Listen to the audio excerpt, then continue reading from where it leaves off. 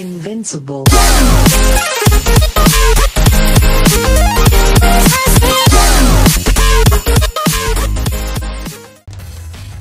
Oke, what's up guys? Kembali lagi bersama saya Sandi di Sansori Gaming. Oke, jadi saya akan bermain game God Hand lagi ya, cuma akan membuat combo yang biasanya sering digunakan oleh pro player. Oke, sebelumnya saya ingatkan pada kawan-kawan jangan lupa like dan subscribe karena like dan subscribe itu gratis. Dan jangan lupa salam Sansori Gaming. Oke, langsung saja kita ke loot gamenya yang udah saya siapkan. Sebenarnya saya juga bukan pro player lah, tapi saya sering melihat pro player bermain, jadi saya mungkin akan berikan terkait uh, bagaimana kombonya.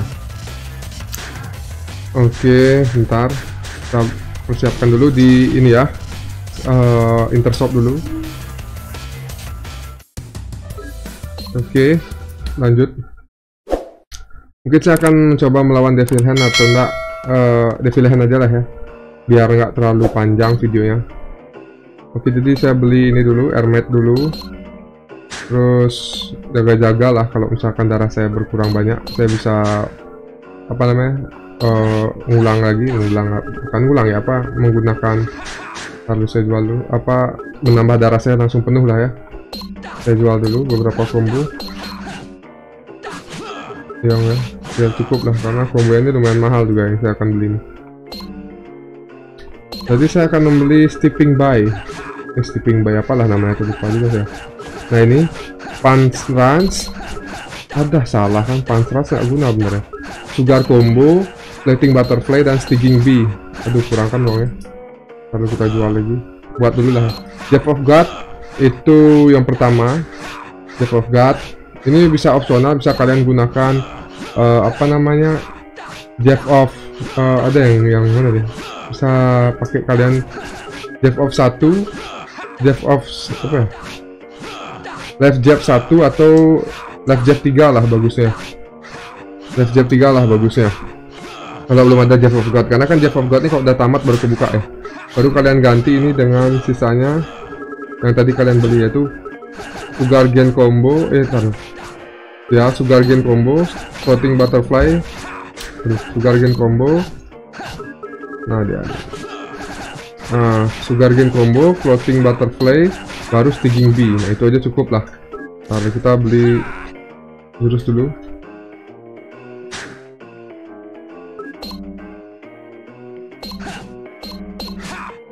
Kita jual aja nggak saya gunakan. Beli uh, apa ya tadi ya pokoknya mengantar nih. Mana dia hmm, beli. Topping fish. Oke okay, topping fish nih kita gunakan di egg aja lah ya. Ini fungsinya kak biar apa ya? Uh, kita gampang men-trigger uh, apa namanya? Musuh tuh ngenangkis nah kalau dia nangkis tuh kan udah kalau kita udah hafal tuh cara men-triggernya terus kita combo dengan God Breaker itu langsung gimmick yang apa namanya itu yang masuk itu lebih sakit. Dan juga membuat musuh itu lebih cepat pusing. Kita langsung contohkan di manusia kayu dulu. Pokoknya combo ini sangat bagus untuk dan cepat untuk membuat apa namanya tuh musuh-musuh tuh pusing. Dan dimiknya juga lumayan lah lumayan besar dari yang lain. Tapi kalau dibandingkan combo api masih besaran combo api. Cuma combo api dia lambat dan untuk membuat pusingnya itu lebih lama. Oke kita tes Start. oke tak tak tak tak tak tak oh kan pusingnya cepat lah pusingnya gitu guys ya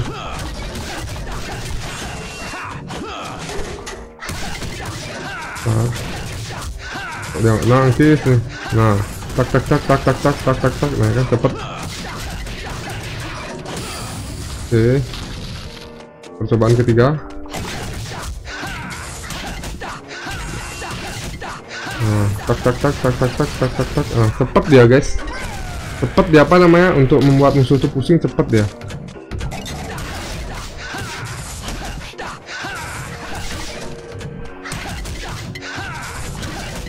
Nah. Biasain aja keluar mah biasain aja. Oke guys, jadi ini ada adik uh, sepupu saya lah. Kelihatan di kamera. Dia malu-malu dia nih. Mau apa tuh mau keluar aja harus sembunyi-sembunyi gitu ya. Nah. Oke, itu sedikit. Aduh. Ini pemanasan dulu lah ya. Biar kalian bisa melihat kampret, biar kalian bisa melihat lah bagaimana combo ini.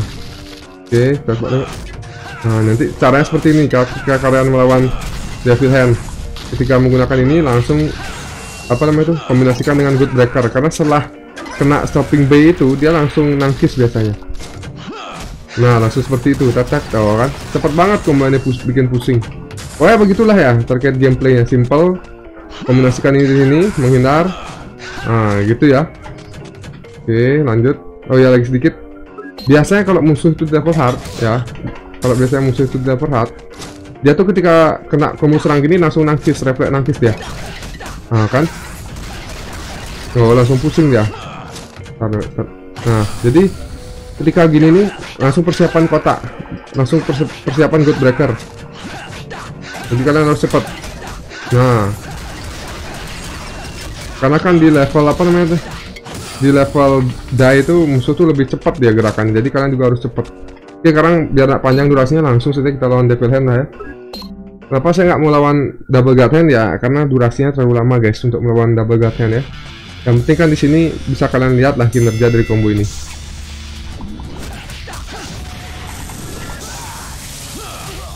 oke Oke, bentar. Uh, kampret. Oke.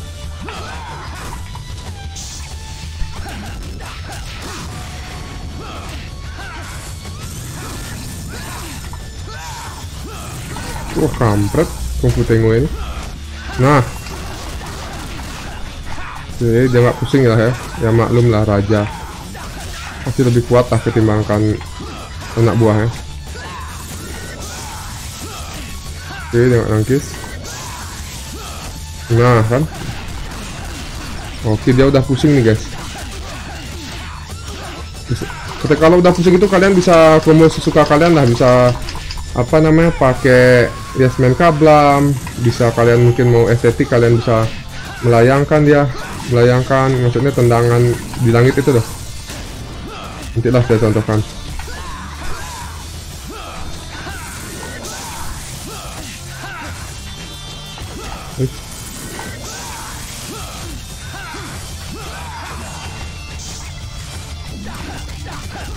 Aduh.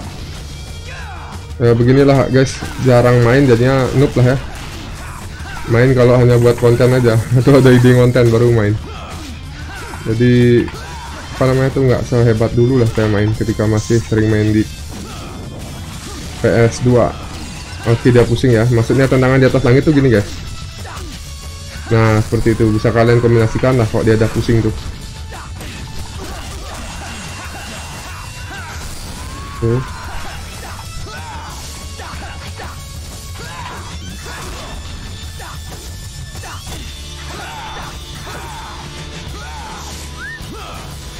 Oke, main sambil menjelaskan tuh sedikit susah ya.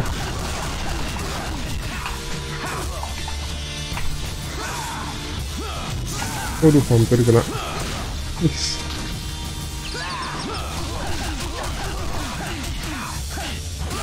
Aduh, telat. Aduh, tuh hampir kena.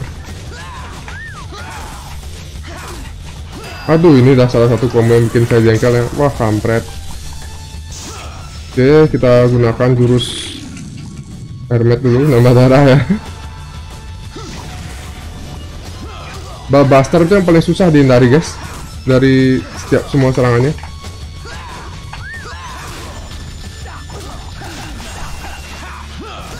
Nah.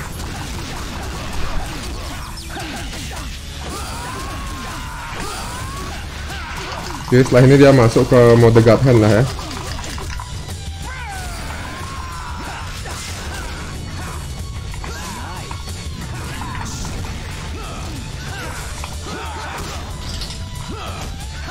Nice. Nice.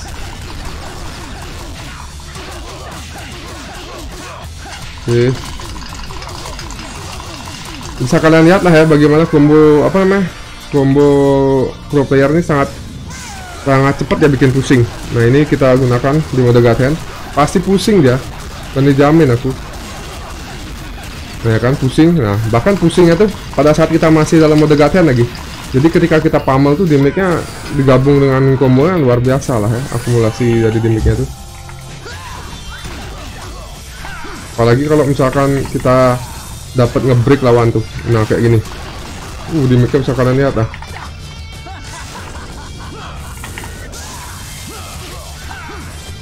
Nah, stopping B ini sangat cocok lah kalau kalian melawan apa namanya double guard hand dan juga devil hand. Karena biasanya dia setelah kena tuh langsung nangkis gitu. Jadi kalian tinggal refleks dengan atau refleks kalian dengan kombinasikan dengan good breaker atau pokoknya combo-combo break yang lain itu sangat cocok lah. Oke.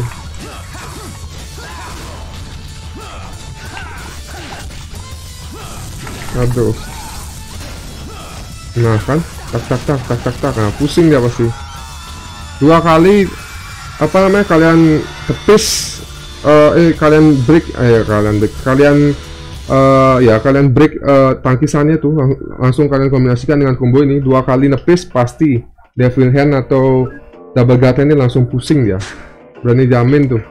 Kalau musuh biasa kayak musuh kayu darah-darah musuhnya yang tipis di devil die itu wih bener-bener mantep combo ini. Pokoknya kalau combo ini paling cocok menurut saya ya ngelawan musuh-musuh yang nggak terlalu tebal lah misalkan kayak apa ya sumo pokoknya yang tebal tapi masih mini boss gitu. Bukan apa namanya bukan kayak bos-bos utamanya. Kalau ngelawan devil uh, apa namanya tuh dub, uh, double Gathen pakai ini ya agak lama. Tapi tetap aja sih cocok. Cuma kalau kalian emang lebih prefer ke dimik mendingan combo api.